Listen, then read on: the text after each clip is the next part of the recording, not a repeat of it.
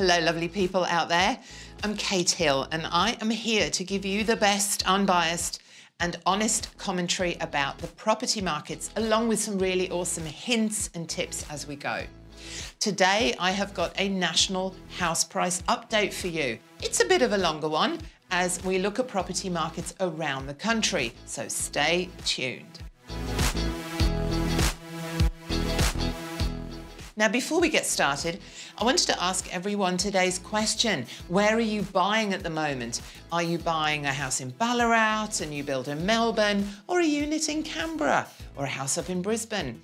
What are you up to and why? I would really love to hear your stories.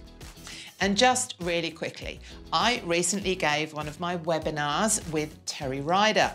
We discussed the prospects for a nationwide property boom for this year and beyond. It was an open forum. We got lots and lots of questions from you lovely people out there about specific areas and where the markets are heading, which ones will show the best growth, and which ones to avoid. So, if you are in the market for an investment property at the moment, then this video is a must watch, you guys.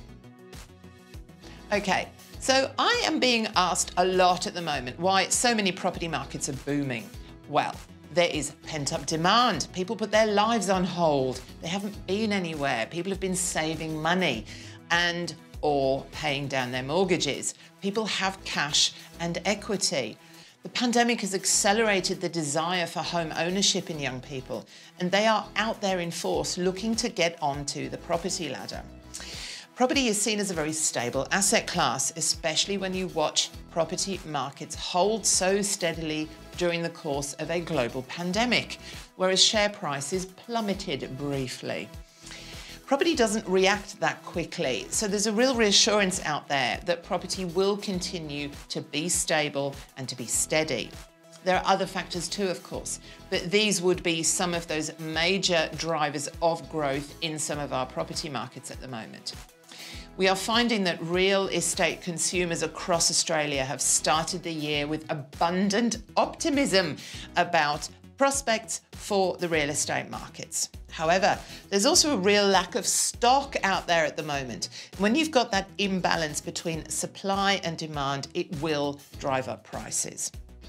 And Australian housing values have reached a new record high as values continue to rise across almost every broader region of the country. So let's go through some of them. Canberra. Canberra property, like Adelaide, rarely gets a mention in the national media and has been the quiet achiever of 2020. In our very turbulent year last year, Canberra has emerged relatively unscathed. While market activity did pull back during the peak of restrictions earlier in the year, last year, successful containment of the virus meant an element of normality returned quite quickly.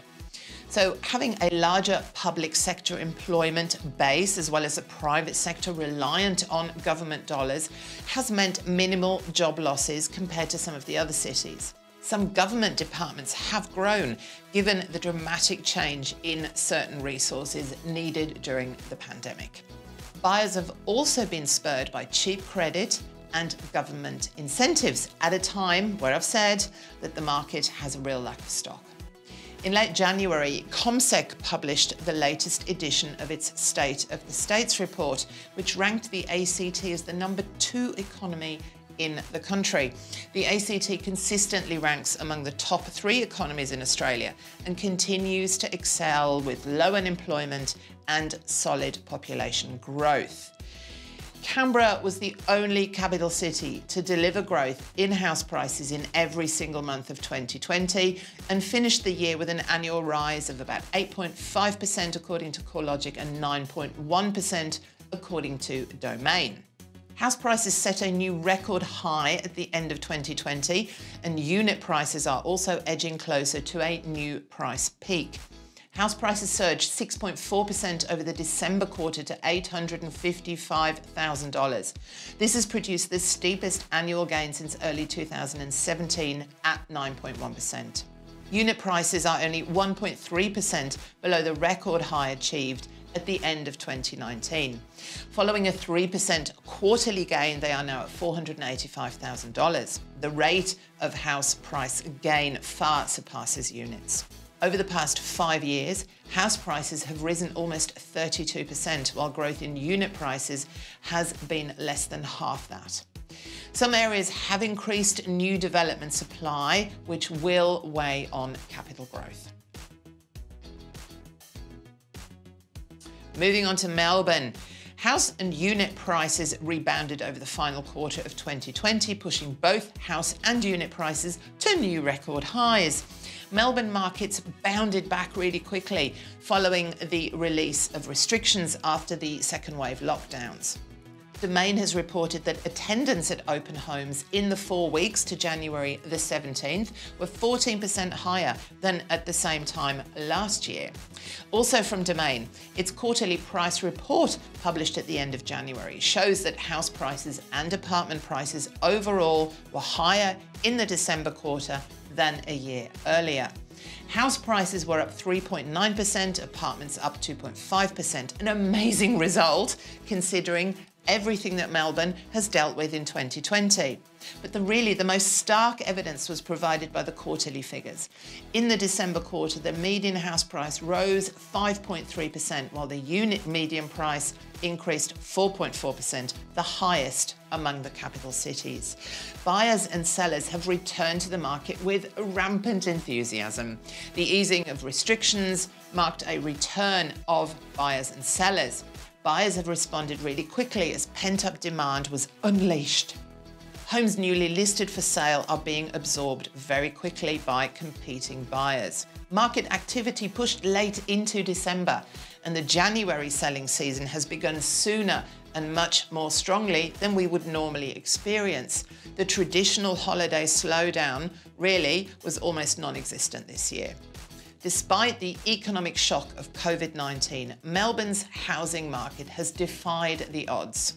First home buyers are back in the market using all those government incentives, low mortgage rates, and a much deeper savings pot as COVID restrictions reduced discretionary spending. Changeover buyers, upgraders, have been enticed by cheaper credit and altered wish lists post that lockdown. The traditional first home, heartland and lifestyle locations in Greater Melbourne continue to be top performers. Up to Brisbane. We've said before that southeast Queensland attracts the most interest from interstate migrants. They are attracted by more affordable house prices, really good job opportunities, and improved lifestyle factors. Post lockdown pandemic, and as our borders are opening up a little bit more, major building companies are saying that the level of inquiry for new homes in southeast Queensland is phenomenal, with a mass domestic migration apparently underway to the Sunshine State. Relocation companies have experienced a 400% increase in demand for quotes from people migrating from Sydney and Melbourne. Access to tradespeople has come under real pressure amid this building boom. New home sales are up 80%. The level of inquiry in local property has been extraordinary. Demand for renovations is unprecedented and unlike anything many up there have experienced in years. Brisbane markets are performing well on price growth, with three quarters of suburbs across the metropolitan region recording an uplift in their median house prices in 2020. In the most recent quarter, 76% of suburbs had some level of price growth, with inner city unit markets still struggling with high vacancy rates. Growth has been less prolific in that unit market. 56% of these suburbs with unit markets have lifted their median unit price in the past year. House price growth has been spread across the greater Brisbane area, but the upper end of the market has been leading the way. The housing market in inner Brisbane, in contrast to the unit market, is generally travelling quite well. Some regional Queensland markets have been among the best in Australia on price performance over the past 12 months. Literally dozens of locations throughout the state have recorded double digit growth in their median prices, led by the Sunshine Coast, where several upmarket suburbs have grown more than 30% in the past 12 months. Queensland has been ranked ahead of New South Wales, but behind Victoria in the latest CommSec State of the States report, which rated the economy fifth best in the country. Queensland led the nation on total value of home loans, up 65% on the long term average. Queensland had the fastest annual population growth in the country, up 1.58%. The report ranked Queensland third best in the country for retail spending, up 18% on the 10 year average. And as we move across to Adelaide, it will be a recurring theme of this video, folks, but Adelaide house prices also ended 2020 on a new record high. House prices are now 6.1% higher than last year. It was only three years ago that Adelaide was the second most affordable city to purchase a house, but it is now the fourth. Adelaide's unit market ended the year in a strong position at a record high 350,000, producing the steepest annual growth out of all capital cities 13.5% higher than last year. This is the strongest annual growth for units in 12 years. There has been minimal disruption to Adelaide's property market through the pandemic relative to other capital cities, highlighted by the strong end to 2020. South Australia's economy is soaring, according to the new reports, ranking the state's economic health at its highest position in years. The state's population is surging, and that is having payoffs for the economy. CommSec's State of the States report, released at the end of January, Been quoting it throughout this video, ranked the local Adelaide economy equal third with Victoria, its highest placing in more than a decade. Population growth is clearly an important driver of the broader economy, especially retail spending, and housing demand ABS statistics for the June 2020 quarter showed more people from interstate moved to South Australia then left for other states. It was the first time that that has occurred since 2002. The CommSec report also showed that the states and territories less affected by COVID 19 were rebounding really strongly, unsurprisingly.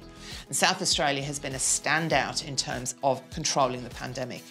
So, in terms of price performance, Adelaide has been one of the most consistent markets in Australia. In the 10 months of 2020 that followed the onset of the pandemic, Adelaide recorded house price growth in nine of those 10 months. Two thirds of Adelaide locations recorded growth in the past 12 months. South Australia's recovery from COVID 19 has been hailed as one of the best in the country. An economic analysis by Deloitte Access Economic predicts South Australia's jobless rate will drop to 5.4% by 2025, and it hasn't been that low since November 2018.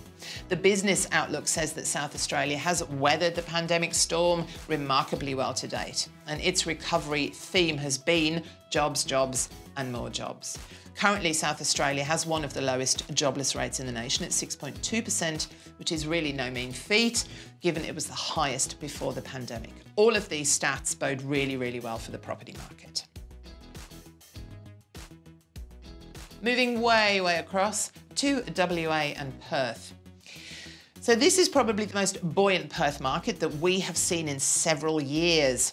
According to Terry Ryder, there are currently almost 60 rising suburbs across the Perth metro area in terms of sales volumes, with the growth areas dominated by affordable markets. And so much, really, so much has changed here, including a big reduction in vacancy rates and a very busy activity from first home buyers.